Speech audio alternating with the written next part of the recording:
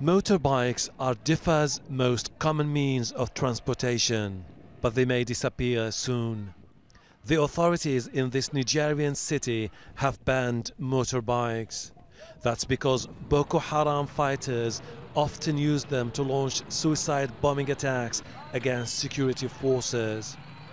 But the local community is worried as bikes are a main source of income for thousands of people, like Salah Shaibo, who owns a taxi bike known locally as Kaukabu. I'm now out of job.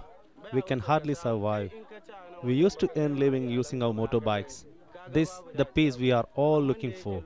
Security is now restored and people are back to normal life. So we demand the government to lift the ban on motorbikes. Although bikes are the predominant mode of transportation in this impoverished area, the authorities say safety comes first. We have banned motorbikes in Diffa, although they are widely used by residents.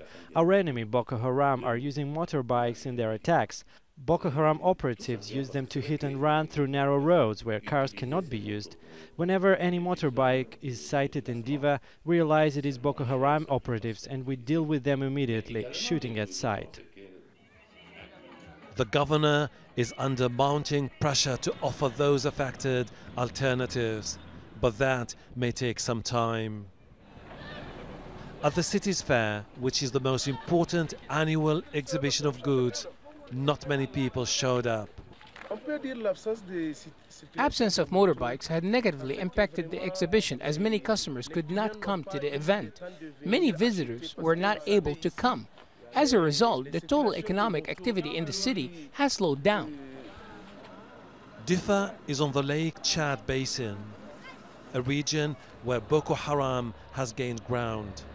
Niger has been active in the regional push to defeat the armed group.